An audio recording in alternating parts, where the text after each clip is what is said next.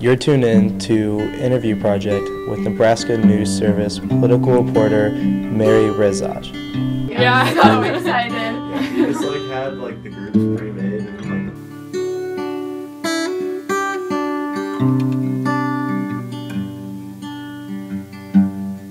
Uh, my name is Mary Rezac, and I'm from Valparaiso, Nebraska. When I worked for the Omaha World Herald, I did breaking news, and so on a Friday morning, I found myself like reporting on a naked guy who ran out of his hotel and like dropped all of his clothes in the middle of the street. So just like random, bizarre things like that. It gives you.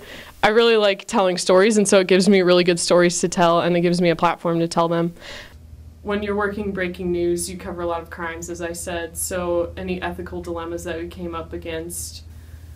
Um, well, back to the naked guy story.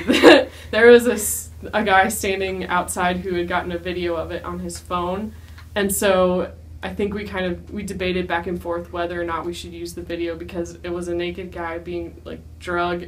He was holding onto a car and he was drugged about ten feet. Keep in mind the dignity of the person that you're covering and remember that they are still a person and that they still have like a reputation they still have um, a family they have you know their own life and so if what you're doing is to help someone or to hurt someone and if in the end it only ends up hurting someone then you probably shouldn't do it but if you believe that it's something that needs to be known um, for like public safety then it should be covered.